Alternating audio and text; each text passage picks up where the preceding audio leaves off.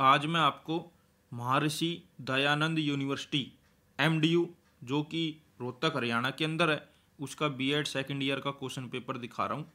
ये question paper gender school and society का है। अगस्त 2021 में ये पेपर हुआ है।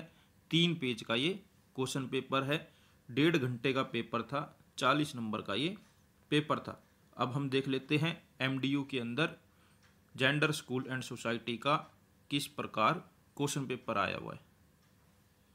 Question number one write short notes on the following a concept of equity and equality in relation with religion ethnicity b relation between school and society चार चार number के थे दोनों।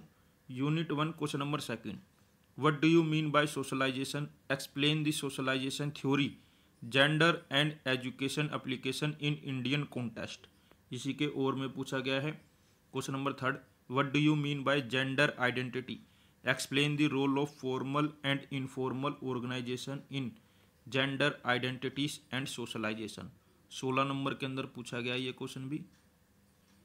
Unit second question number four write a detailed note on the transmission of parental expectations and values इसी के ओर में पूछा गया question number five, describe the complementary nature of school and community.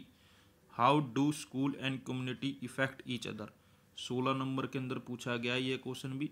आप सभी बच्चों से छोटी सी रिक्वेस्ट यही रहेगी, प्लीज़ अपने क्वेश्चन पेपर पीडीएफ फॉर्म में मेरी ईमेल आईडी पर ज़रूर सेंड करें।